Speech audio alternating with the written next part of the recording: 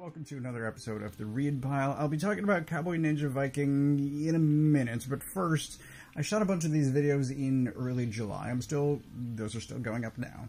But uh, I've been using that time to read some longer things, some books that I wasn't sure that I would want to keep and thus do videos on, and one of those was Joe Casey and Tom Scioli's Godland series. I thought I honestly had the entire series. I have two of the hardcovers. There are actually three, and I did not enjoy it enough to spend the money to get the third hardcover, so I am letting this go. It is extremely Kirby-esque, as Erik Larsen points out in his intro to the first um, volume. It's just, it's modernized Jack Kirby. It's, it's interesting. It's sometimes fun, but it's also somewhat tedious. There's a, there's one story arc that involves these three characters, and it just takes so long to get anywhere.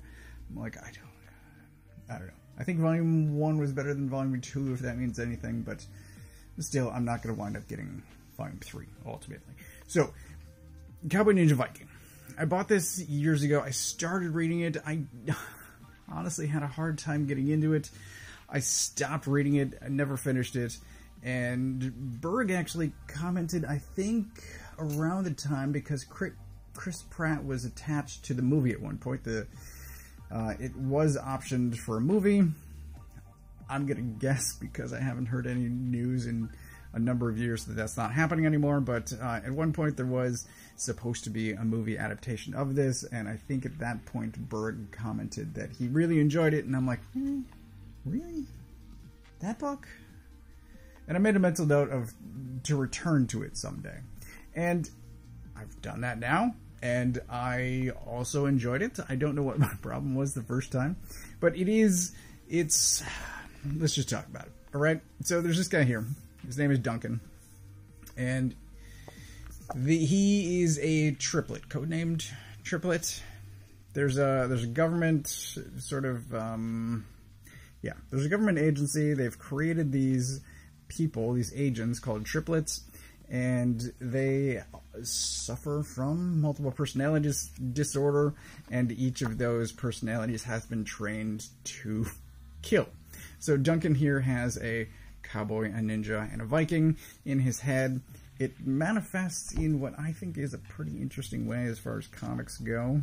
There's a lot of sequences like this where he's essentially talking to himself. All these word balloons are themed so you know who's talking, and it's not just Duncan, it's the other triplets as well, because he's not the only one. I enjoyed this. It's a kind of it's not quite spy, but it's sort of that thriller genre, and I I enjoyed it.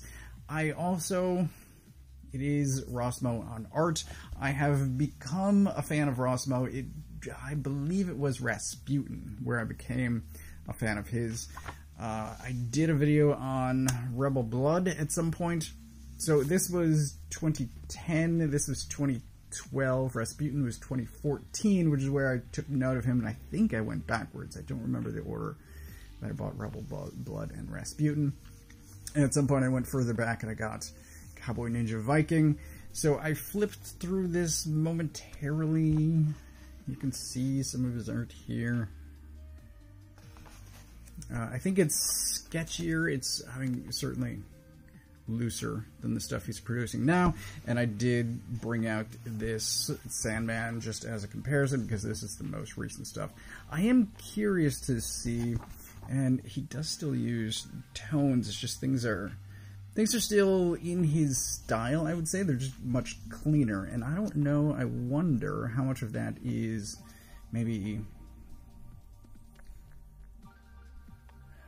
I'm not going to say a DC demand, but maybe he's adjusting his style to fit in better with DC. He's been over there for a number of years. He is going to be working with Danny Warren Johnson. I'm very excited for this at the time of this recording because this is July. Uh, that book isn't out yet, but I'm very much looking forward to it to see what he uh, unleashes when he's doing creator owned. I'm super interested to see what uh, happens there. But Cowboy Ninja Viking, move those off to the side. So it is a five issue series. They do seem oversized. Weirdly, I spell Rossmo's name wrong here in the credits. It's unfortunate. And it, it does say in multiple places, volume one, I I have to imagine this was intended to continue. It does end in a way where it could easily continue, but what the story that had been started is wrapped up sufficiently. So I don't entirely know. I wasn't following this at the time that it was coming out. I'm not even sure I was. I would have been reading comics, but oh, it it's it's enjoyable. It's fun. There's I think one issue where things, and it's, it's I'm gonna say issue three. It's right in the middle. I tend to have problems in the middle of miniseries where things just sort of stagnate. And this, I'm going to say, suffers from that a bit, but it's still a heck of a lot of fun. It is.